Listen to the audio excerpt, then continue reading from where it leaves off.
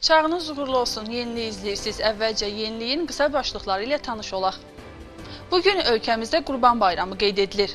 Növbəti güzəştli mənzillər satışa çıxarılacaq. Bakı Gəncə istiqamətində hərəkət edən qatarlarda endirim kampaniyasına start verilib. İndi isə daha ətraflı. Bu gün ölkəmizdə Qurban Bayramı qeyd edilir. Bu müqəddəs bayram haqqında maraqlı bilgiləri sıradakı yeniliyimizdən izləyək. Qurban Bayramı İslam aləmində müqəddəs bayramlardan biridir.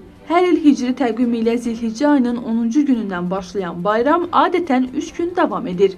Mərasimlərdə qoyun, qoç, inək, dana və ya dəvə kəsilir. Yaxşı olar ki, qurbanlar bayram namazından sonra kəsilsə daha məqsədə uyğundur və e, alınan qurbanlar e, e, daha sağlam olmalıdır, daha gözəl olmalıdır. Bunlara diqqət olunmalıdır. Çünki Allaha xatir, Allah yolunda kəsilən qurbanlar, Allah yolunda verilən ehsan, Allah yolunda verilən sədaqə Allaha layiq şəkildə olmalıdır.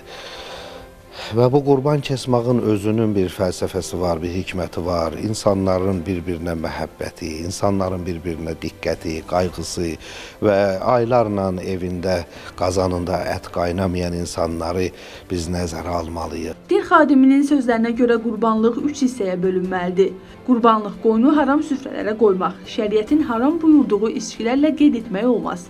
Bu Allaha qarşı üsyan kimi qiymətləndirilir. Bəziləri e, çox qəribə bir şeylər mən eşidirəm bu yaxınlarda ki, bunlar şəriətimizə ziddir.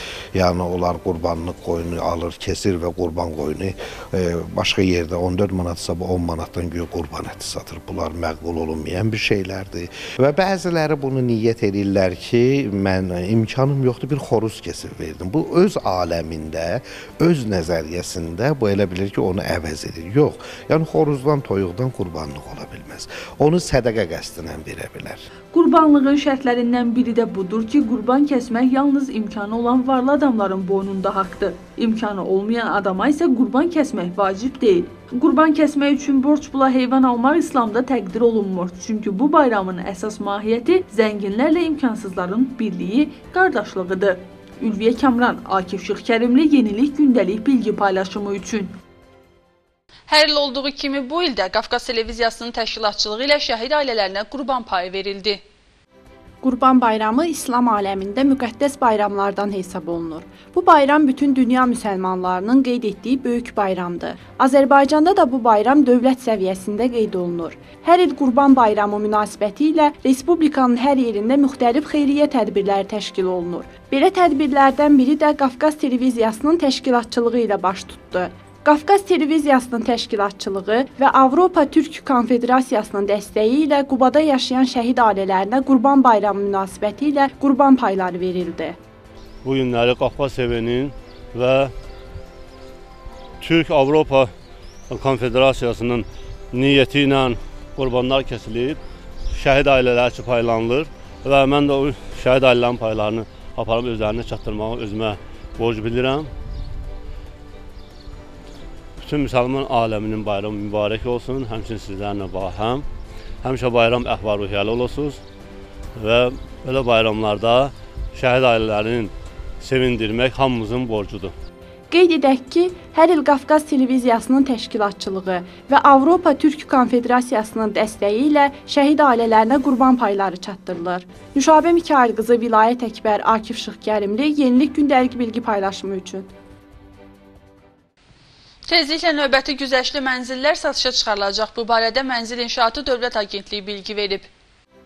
Tezliklə Mənzil İnşaatı Dövlət Agentliyi tərəfindən mənzillərin satışı ilə bağlı seçim elan olunacaq. Satış tarixindən ən azı 30 gün ərzində bu barədə ictimaiyyətə məlumat veriləcək. Bunu Midanın aparat rəhbəri Fərman Qurbanlı keçirilən mətbuat konfransında bildirib. O deyib ki, mənzillərin əvvəlcədən bron edilməsi barədə iddiaların heç bir əsası yoxdur mənzillərin öz zənginləşdirilməsinə, kirayə icarəyə verilməsinə və ya digər məqsədlərə yüklü edilməsinə 3 il müddətli məhdudiyyət qoyulur və buna nəzarət sırf ə, e, hüquqi cəhətdən mümkündür. Belə ki, həmin mənzillərin ə, e, rəsmiləşdirilməsi, məsələn, alqı-satqı edilməsi hüquqi olaraq mümkündür. Yəni həmin vətəndaşlar notarial qaydada bir mənzili digər bir vətəndaşa satmaq istəsələr bu mümkün deyil.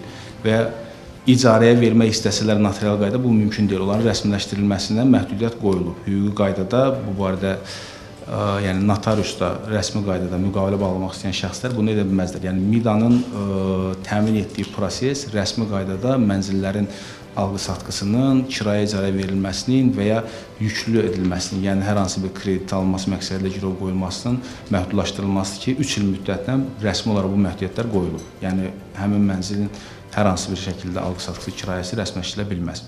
Fərman Qurbanlı qeyd edib ki, Gəncə yaşayış kompleksində artıq 7731 mənzil inşa edilib. Bununla yanaşı 13 sosial obyekt istifadəyə verilib. Hal-hazırda tikintisi davam edən 4 layihəmiz mövcuddur. Bu layihələrdə 4057 mənzilin tikinti işləri davam etdirilir və bu mənzillərlə yanaşı da 3 sosial obyektin 2 ümumi təhsil məktəbi və 3 3 sosial obyektin tikintisi davam etdirilir. Bunlar Gəncə yaşayış kompleksinin ikinci mərhələsi, Hövsan yaşayış kompleksinin ikinci mərhələsi, Sumqayıt yaşayış kompleksi və ə, Lənkəran şəhərində icra olunan güzəştli mənzil layihəsidir. Füzuli şəhərində işğaldan azad olunmuş Füzuli rayonunda da yeni yaşayış məhəlləsinin salınması istiqamətində Mənzil İnşaat Dövlət Agentliyindən tərəfindən tikinti işləri həyata keçirilir. Sistemdə müəyyən təkmilləşdirmə işləri aparılır, müəyyən dəyişikliklər ediləcək və tezliklə çox yaxın zamanda artıq növbəti satışla bağlı elanın verilməsi planlaşdırılır və bayaq da qeyd etdiyim kimi qaydaya uyğun olaraq mənzillərin ə, satışa çıxarılması tarixindən ən azı 30 gün öncə bu barədə elan veriləcək. Həm kütləvi informasiya vasitələrində elan veriləcək, həm də vətəndaşlara müvafiq bildirişlər göndəriləcəkdir. MİDA təmsilçisi həmçinin əlavə edib ki, işğaldan azad olunan Füzuli şəhərində də yeni yaşayış məhəlləsinin salınması istiqamətində agentlik tərəfindən tikinti işləri həyata keçirilir. Bu günə qədər agentliyin sərəncamındakı mənzillərə həm güzəştli mənzil sistemi, həm də dövlət sifarişi vasitəsilə 5761 nəfər sahib olub. Ümumilikdə isə güzəştli mənzil sistemində qeydiyyatdan keçmiş şəxslərin sayı artıq 25 mini ötüb. Yəni 25 min vətəndaş artıq güzəştli mənzil sistemindən qeydiyyatdan keçib. Azərbaycan Dəmir Yolları Qapalı Səhmdar Cəmiyyəti Bakı-Gəncə-Bakı istiqamətində hərəkət edən qatarda mövsümi endirim kampaniyasına start verib. Azərbaycan Dəmir Yolları Qapalı Səhmdar Cəmiyyətinin yaydığı məlumata əsasən bu gündən etibarən 3 ay müddətində Bakı-Gəncə-Bakı marşrutu üzrə standart yerlər üçün satılan biletlərin qiymətində 25%lik endirim tətbiq olunur. Kampaniya çərçivəsində sərnişinlər standart, ekonom yerlər üçün 15 manat ödəyərək səfər edə biləcəklər. Biznes və birinci klass yerlərdə gediş haqqı dəyişilmədən saxlanılır. Bilet satışı üçün isə həm Azərbaycan Dəmir Yollarının e, kassalarına müraciət edə bilərlər. Onu da qeyd edək ki, Bakı-Gəncə sürət qatarının qrafikində dəyişiklik e, olmamışdır. Yəni qatarımız gündəlik fəaliyyət göstərir. Eyni zamanda Bakıdan saat 8-də çıxan qatar Gəncəyə 11:40-da çatır və əks istiqamətə Gəncədən 18:00-da çıxan qatarımız 21:35-də Bakıda olur. Bilet zamanı yaşı 18-dən yuxarı olan sərnişinlərdən peyvənd sertifikatı, əks göstəriş sertifikatı və ya immunitet sertifikatı tələb olunur. Ülviyə Kamran, Akif Şıxkərimli Yenilik gündəlik bilgi paylaşımı üçün. İnsanların tətil haqqında düşündükləri vaxt yay mövsümüdür. İnsanlar yay tətillərinin yadda qalan keçirmək üçün müxtəlif səfərlərə çıxmaq barədə planlar qurur. Bu səyahətlərini asanlaşdıracaq tur agentlikləri axtarırlar. Elə olanlar da bundan sonra olur.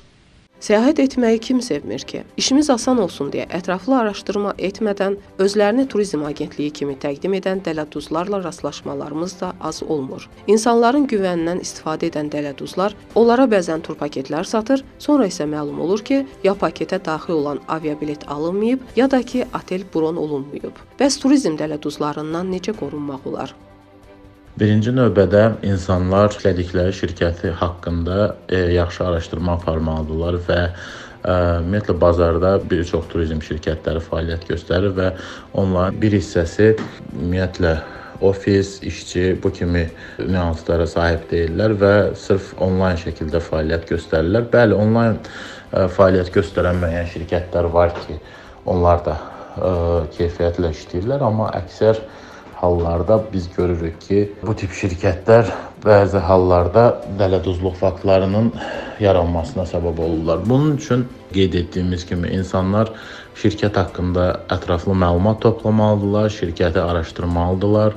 Ofis varmı, şirkətin işçiləri varmı, daim cavab verən hər hansı bir telefon nömrəsi varmı deyə və yalnız bundan sonra artıq ə, onlara güvənib tur paketləri əldə edə bilərlər və adətən şirkətlər, yaxşı şirkətlər müqavilələri təklif edirlər.